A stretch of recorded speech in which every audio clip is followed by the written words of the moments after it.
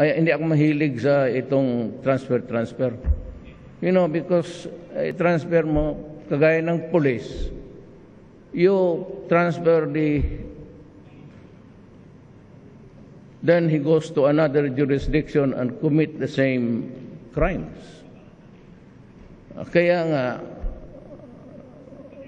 hindi bago sa atin itong pulis. I am not, alam mo itong mga military, matitino ito. Alam mo bakit? Hindi nakakalagpas ng kampo yan. They cannot go out of the camps unless inauthorize ng camp commander. Eh, ang police, law enforcement. So the report and magsulat sila sa blatter that they are ready for work and they go out and enforce the law. Kaya yan ang problema natin. Enforcing the law because you have the discretion not to enforce the law. Or better still, for the idiots, they go into itong corruption sa drugs. No?